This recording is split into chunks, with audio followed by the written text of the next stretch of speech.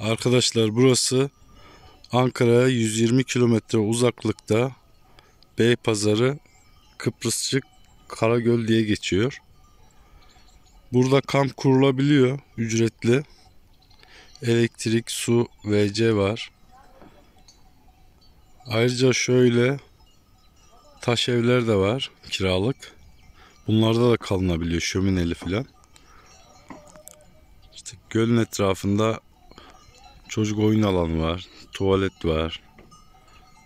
Güvenli. Güzel bir yer, tavsiye edilir.